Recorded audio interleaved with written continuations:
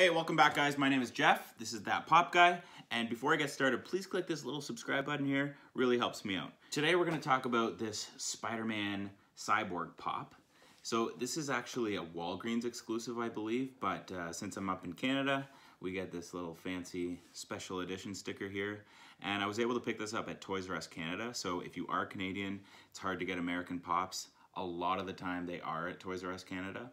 Um, they, I don't know, they just seem to have this joint partnership where they can get all those pops. So great place to pick them up. Obviously it's not as good as having the original uh, sticker on there, but what are you gonna do? So this is a cool pop because uh, Spider-Man's my favorite character. I've told that, I've said that a bunch of times on this channel. He's my favorite fictional character and any variant on the original Spider-Man costume I just think is dope. So uh, let's open this one up.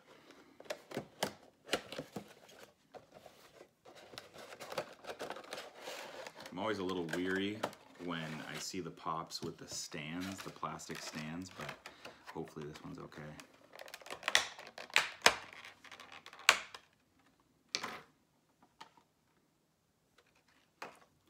All right, seems to be intact, so that's always a good sign. Check it out there.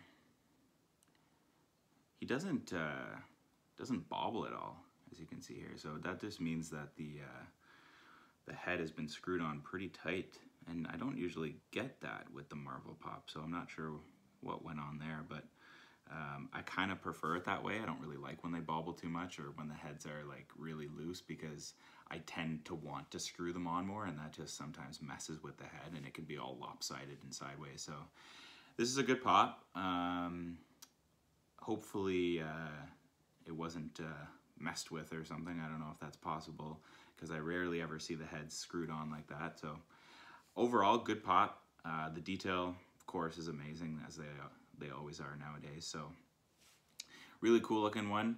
Um, let me know, guys, though, what's your favorite version of Spider-Man? There's a bunch of new ones coming out for the Miles Morales game, which look amazing. But let me know, what's your favorite Spider-Man costume and why?